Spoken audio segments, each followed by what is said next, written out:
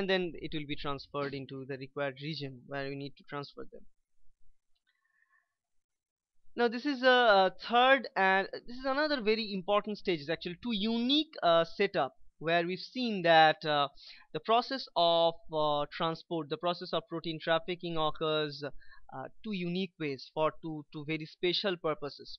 One purpose is to deliver immunoglobulins from uh, the intestinal fluid from the blood and intestinal fluid into the intestinal lumen actually. So uh, so immunoglobulins are very important because you know in different infections actually cells need to uh, cells need to look for uh, whether there is an infection or not. And if there is an infection then they need to supply a lot of immunoglobulins as well as they need to uh, make sure that whatever is inside our intestinal lumen intestinal lining of the cells they are correct they are right because a lot of things are going on in intestine there. So actually this process called transcytosis and we will be seeing this machinery as well as we are going to see that uh, this transport system or membrane transport system is actually helping not to deliver proteins but also to deliver uh, some uh, element like this element is iron in this case right? And using a protein receptor protein helper called transferrin right? So it's called ferrotransferrin a protein molecule called transferrin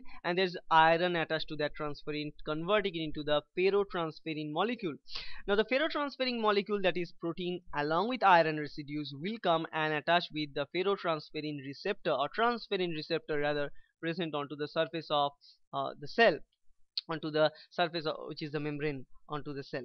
Now once they're bound with this this ferrotransferrin bound with the transferrin receptor they will be internalized via endocytosis pathway and clathrin will help them to coat this whole vesicle. That's the clathrin coated receptor mediated endocytosis pathway.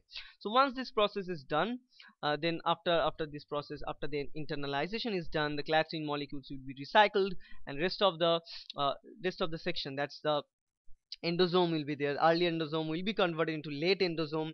And once it is converted into late endosome the pH suddenly drops and all of those uh, those transferrin receptors are now free and they will be recycled. And then uh, what we know finally once it is ready it will fuse with the late endosome. And as the pH drops a much like pH less than 5 or 5 in that condition those ferrotransferrin molecules ferrotransferrin uh, proteins will become apotransferrin and all of these irons are just coming out of those proteins because they are the construction of um, protein and iron present in between the protein structure protein clip. So each of those proteins are containing two irons. So here you can see irons are coming out and those ferrotransferrin are now converted into apotransferrin molecules.